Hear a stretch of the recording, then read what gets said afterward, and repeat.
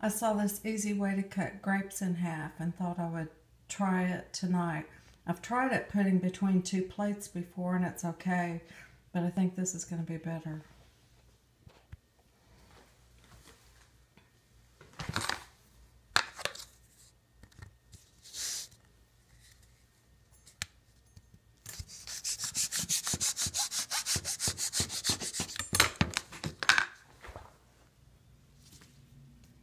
Well, that was easy.